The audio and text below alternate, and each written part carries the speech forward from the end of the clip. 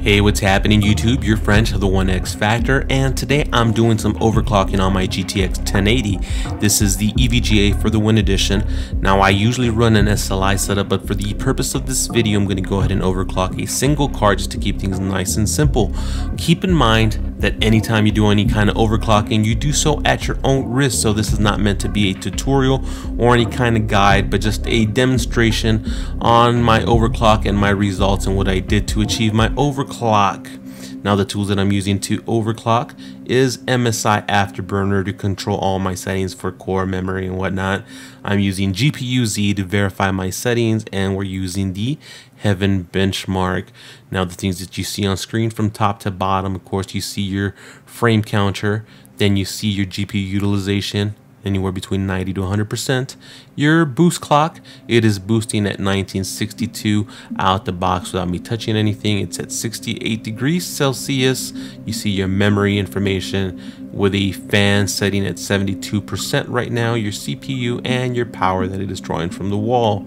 Now, anytime I do any kind of overclocking, the first thing I do is I go ahead and raise my power limit all the way and my temperature limit is linked to power limit. Then I hit apply. And the reason I do that, and it's not necessarily necessary on this card, but it's to help uh, limit any kind of thermal throttling that we might experience. What happens as your card warms up, those boost clocks will tend to drop a little bit to keep the card cooler. Now the for the Win Edition, I believe its core clock is 720 and the boost is 1860. So GPU boost is automatically giving me a 100 megahertz boost clock without me doing anything, which is great.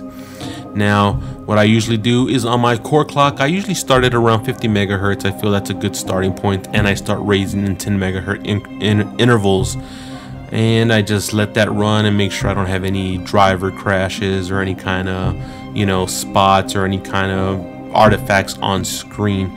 Now since I've went ahead and tested my card I know where my limit is so I'm gonna go ahead and go to 120 boost on the core clock and we'll hit apply and you'll see that boost up to 2088 now I've had this program running for about a good hour now so my temperatures are set to where they were going to and that's probably where I'm going to see it at 69 degrees Celsius. And anytime you start raising the core clock and voltages and stuff like that remember you start putting more heat into your system.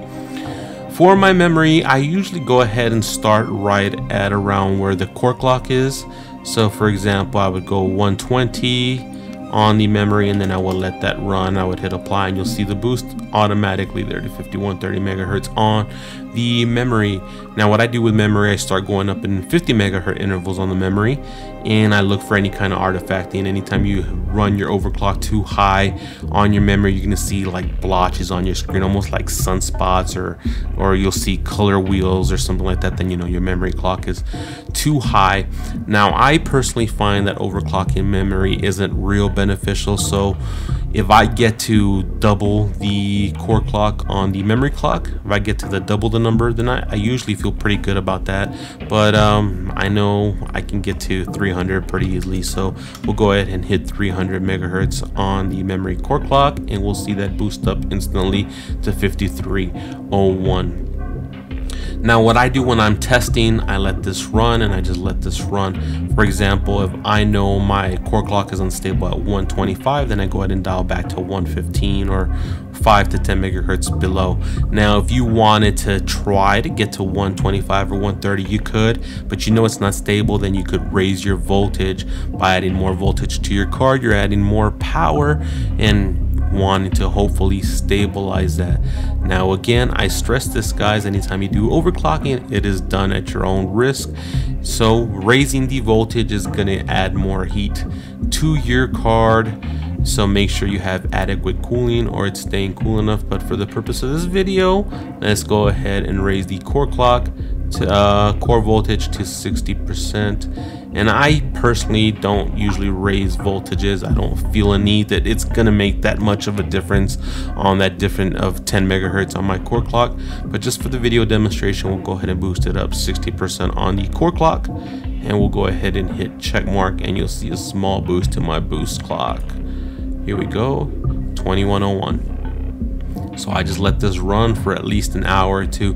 Now keep in mind, different games might not be stable with your overclock. So sometimes these profiles are real helpful as, you know, one game might work great with your overclock and another game might not. Or one game might have a higher tolerance.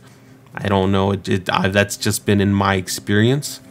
But let's go ahead and hit benchmark and let's see what happens. Let's see if we keep it at 2101 for the whole benchmark. So let's we're benchmarking and we'll just wait for it to run all the way through.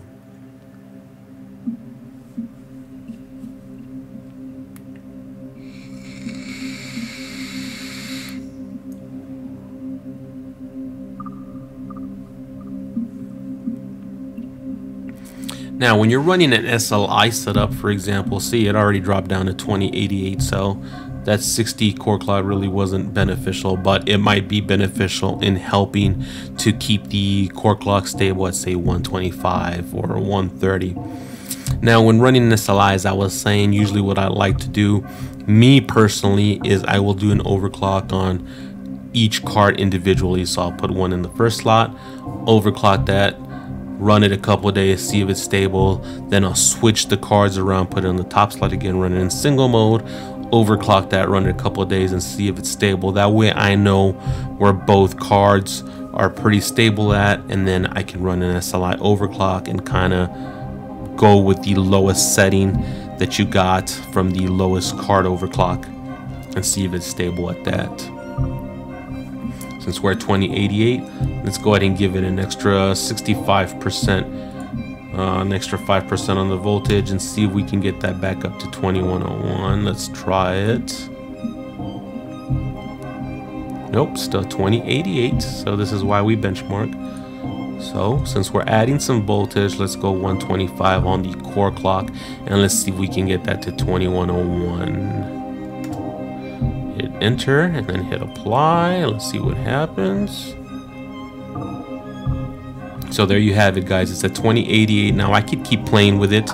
I could keep raising that core clock and the voltage to see if I could get it up there. But I personally don't find the need uh, to, to really have to push my cart that way. I don't like risking it even though it is at 71 degrees Celsius. It's real stable on my temperature. So you'll see it at 28 2088 on the core clock.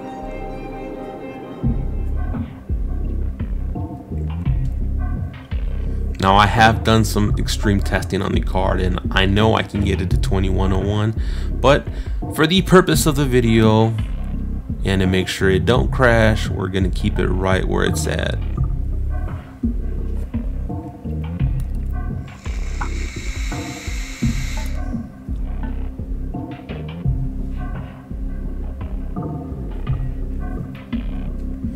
So what are we on right now? But you see it stable at 2088 and I'll take 2088. I don't have to see 2101 or 2100. Doesn't make me feel any better. My card is not, what is it gonna give me? An extra frame maybe? An extra one or two frames per second? Not necessary for me guys.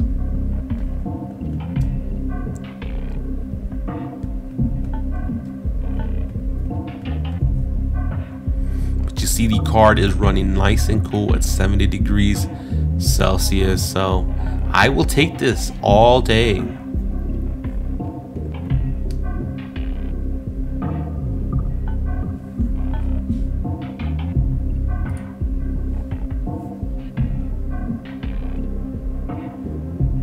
And we're almost done. We're on scene 22 of 26 right now, 23 of 26.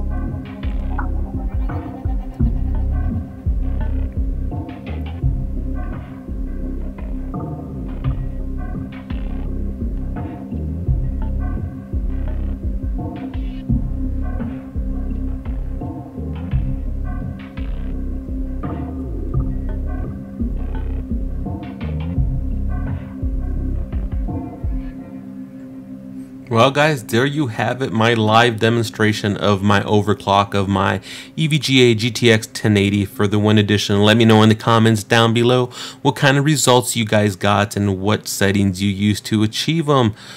All in all, if you have the card, congratulations. I know you're enjoying it. Until next time, guys, your friend the 1X Factor. Make sure you guys like the video, leave me a comment down below, and subscribe to the channel for more gameplay videos, more benchmarks, more, more of everything, hopefully. So, talk to you guys soon. Bye bye.